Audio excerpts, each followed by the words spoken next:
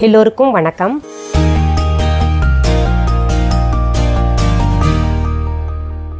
இன்னைக்கு இந்த பதிவில் தர்பை புல் பற்றி தான் நம்ம பார்க்க போகிறோம் தர்பை புல் பற்றி சொல்லணும்னா ரொம்ப அளப்பரிய மகத்துவம் அதில் இருக்குது சுப காரியங்களிலிருந்து அசுப காரியங்கள் வரைக்கும் அனைத்திற்குமே வாழ்க்கையில் ஒவ்வொரு நிகழ்வும் நடக்கும் இல்லையா? திருமணம் ஆகிற ஆகிறப்போ இல்லை பித்ருக்களுக்கு தர்ப்பணம் கொடுக்குறப்போ இல்லை வீட்டில் ஹோமங்கள் நடத்தும் பொழுது யாகங்கள் நடத்தும் பொழுது இப்படி ஒவ்வொரு நிகழ்ச்சிக்கும் இந்த தர்பை புல்லை பயன்படுத்துவாங்க. உங்களுக்கு தெரியும் யாகங்கள் ஹோமங்கள் எல்லாம் நடத்தும் பொழுது நம்ம அதில் உட்காந்தோன்னா கணவனுக்கு வலது கையில் அதாவது ரைட் ஹேண்ட்லேயும் பெண்களுக்கு பார்த்தீங்கன்னா லெஃப்ட் ஹேண்ட்லேயும் கட்டிக்க சொல்லிட்டு விரலில் மோதிரமாக அணிய சொல்லி குருக்கள் கொடுப்பாங்க.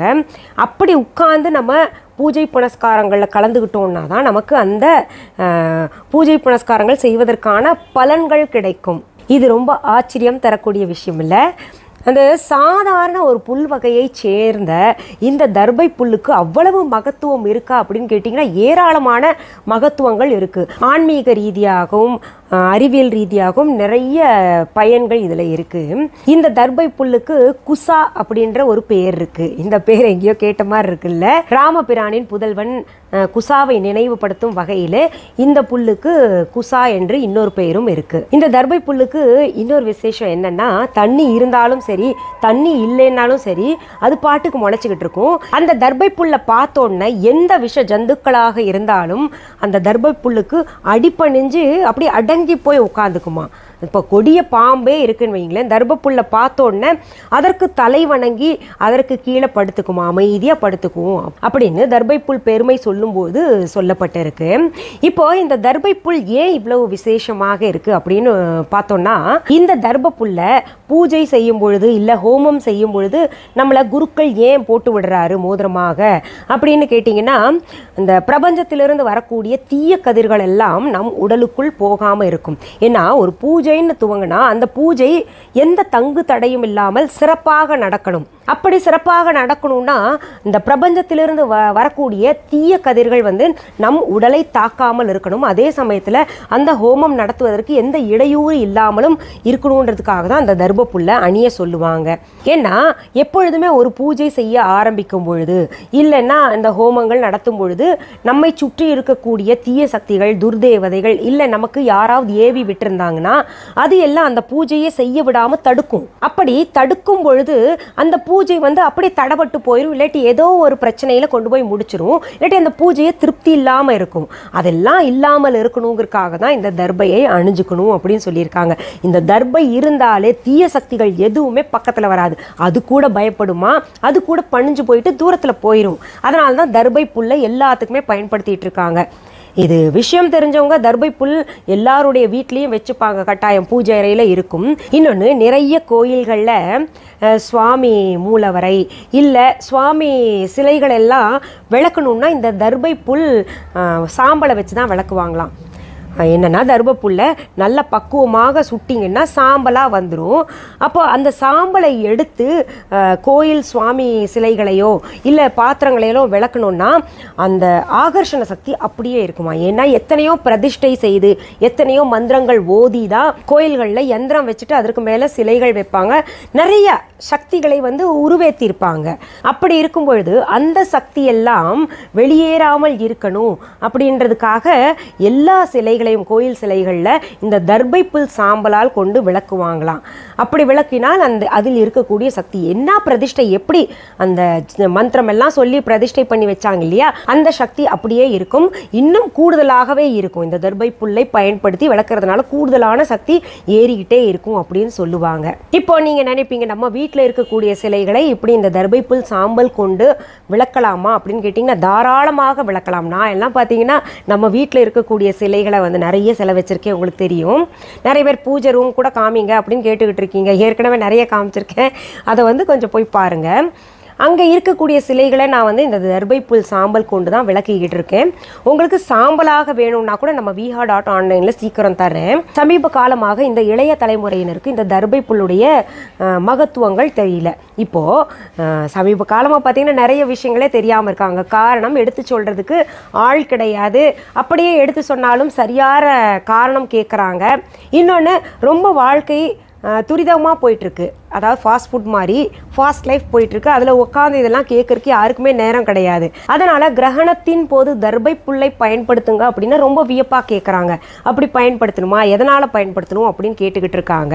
காரணம் கிரகணத்தின் போது சூரியன் சந்திரன் பூமி மூணுமே ஒன்று சேரும் பொழுது வேறு விதமான கதிர்கள் சாதாரணமாக இருக்கக்கூடிய கதிர்களாம நார்மல் டேஸில் இருக்கும் இல்லையா?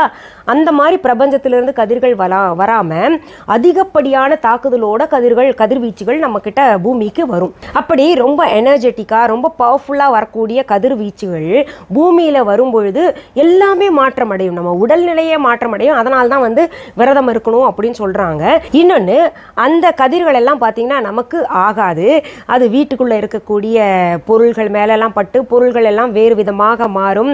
ரேடியேஷன்ஸ் அதிகமாக இருக்கும் பொதுவாகவே அந்த ரேடியேஷன்ஸ் அதிகமாக இருந்தால் எப்படி தாங்க முடியும்? பொதுவாகவே இப்போ நம்ம வந்து நிறைய ரேடியேஷன்ஸ் இந்த எலக்ட்ரானிக் ஐட்டம்ஸ் எல்லாம் பயன்படுத்தும் பொழுது ரொம்ப ரேடியேஷன்ஸ் வந்துட்டு அதனாலேயே நிறைய நோய்களை எதிர்கொண்டுகிட்டு இருக்கோம்.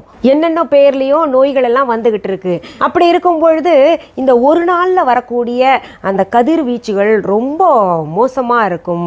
அது வந்து நம்ம தாங்க மாட்டோம். குழந்தைகள் மனநோயாளிகள் வயதானவர்கள் நோய்வாய்ப்பட்டவர்கள் கர்ப்பிணி பெண்கள் எல்லாம் தாங்க மாட்டாங்கன்னு தான் அன்னைக்கு வீடு முழுக்கவுமே அதாவது அன்னைக்கு வரக்கூடிய ரொம்ப பவர்ஃபுல்லான நெகட்டிவ் ரேடியேஷன்ஸை தாங்கக்கூடிய தடுத்து நிறுத்தக்கூடிய சக்தி வந்து இந்த தர்பை புல்லுக்கு தான் இருக்குன்னு சொல்லிட்டு இந்த தர்ப புல்லை வீட்டில் அங்கங்க போட்டு வைங்க அப்படின்னு சொல்லுவாங்க. குறிப்பாக நம்ம ரொம்ப நாள் வச்சு சாப்பிடக்கூடிய பொருள்கள் எல்லாம் இருக்கு இல்லையா? ஊறுகாய் இல்லை இனிப்பு பலகாரங்கள் கெடாத பலகாரங்கள் லட்டு எல்லாம் பிடிச்சி வச்சுருப்போம்.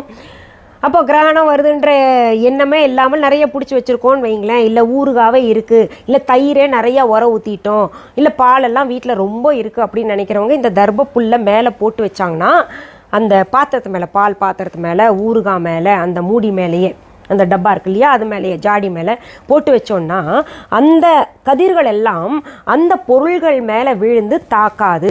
இந்த தர்பப்புல் தடுத்து நிறுத்திடுங்கிறதுக்காக தான் பார்த்தீங்கன்னா தர்பப்புல்லை போடுங்க அப்படின்னு சொல்லிட்டு இருந்தாங்க. இன்னொன்று நம்ம வந்து பூஜை அறையில் உட்காந்துட்டு சொல்லக்கூடிய மந்திரங்கள் எல்லாம் சீக்கிரம் பலிதமாகணும். அது வந்து வீணாகாமல் இருக்கணும்.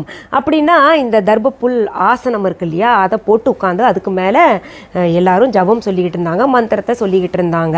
ஆன்மீகத்தில் இவ்வளவு சிறப்பு வாய்ந்த தர்பை புல் நோய் நொடிகளை தீர்க்கக்கூடியது. ரொம்ப ஆச்சரியமா இருக்குல்ல உங்களுக்கு எல்லாம் இந்த தர்பை புல் போட்டு வைத்த தண்ணியை குடிச்சுக்கிட்டு வந்தோம்னா பிபி சுகர் கண்ட்ரோலுக்கு வருமா?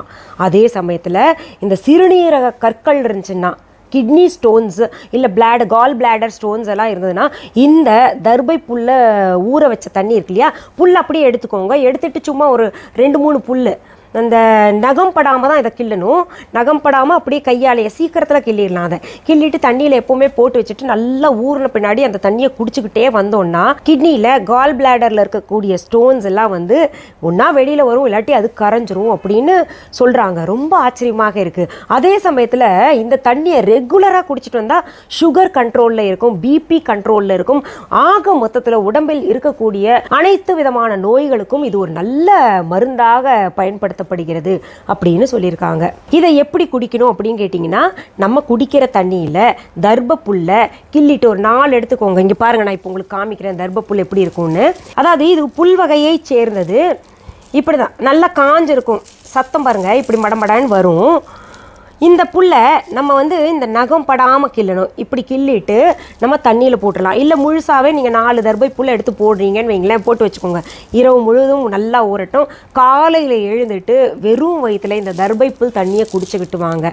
எப்பொழுதெல்லாம் தாகம் எடுக்குதோ சாதாரண தண்ணியை நம்ம எப்படி குடிச்சுக்கிட்டு இருக்கோமோ அதே போல் இந்த தர்பை போட்ட தண்ணியை குடிச்சுக்கிட்டு வந்தீங்கன்னா ரொம்ப ரொம்ப நல்லது. அதாவது உடல் உஷ்ணத்தை வெளியில் எடுத்துரும். அப்புறம் வேண்டாத கொழுப்புகள் எல்லாம் இருக்கு இல்லையா? அதெல்லாம் கரையும். இந்த சுத்தமான தர்பை புல் நம்ம விஹா டாட் ஆன்லைனில் கொடுத்துக்கிட்டு இருக்கோங்க. இவ்வளவு பெருமை வாய்ந்த இந்த தர்பை புல்லை நம்ம இனிமே பாதுகாக்கணும். நம்ம பூஜை அறையில் ஆசனம் போட்டு உட்காந்துட்டு மந்திரம் எல்லாம் சொல்லணும்னா இந்த தர்பை ஆசனத்தை வாங்கி பயன்படுத்தணும். எப்பவுமே ஒரு பொருள் தேவை அப்படின்னா அந்த பொருள் பாதுகாக்கப்படுகிறது. அதை வளர்க்க முற்படுவாங்க இல்லையா? அதனால இதை அழியாமல் நம்ம பாதுகாக்கணும். சரி இன்னைக்கு இந்த பதிவு பதிவில் தர்பப்புல் பற்றியும் அதன் மகத்துவம் பற்றியும் பார்த்தோம் இல்லையா? மீண்டும் அடுத்த பதிவில் வேற ஒரு நல்ல தலைப்போடு உங்களெல்லாம் சீக்கிரத்தில் சந்திக்கிறேன். அது வரைக்கும் நன்றி வணக்கம்.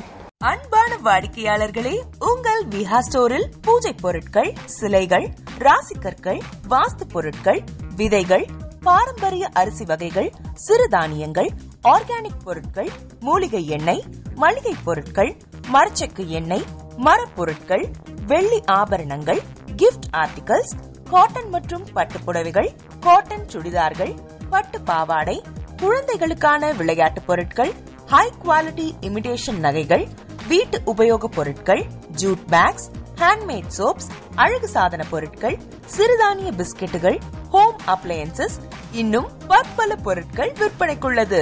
விஹா ப்ராடக்ட்டுகளை நீங்கள் வாங்க விரும்பினால் அது எங்களுடைய விஹா டாட் ஆன்லைன் வெப்சைட் மற்றும் சென்னை ராஜா அண்ணாமலைபுரத்தில் உள்ள எங்கள் விஹா ஸ்டோரில் மட்டுமே கிடைக்கும் என்பதை தெரிவித்துக் கொள்கிறோம்.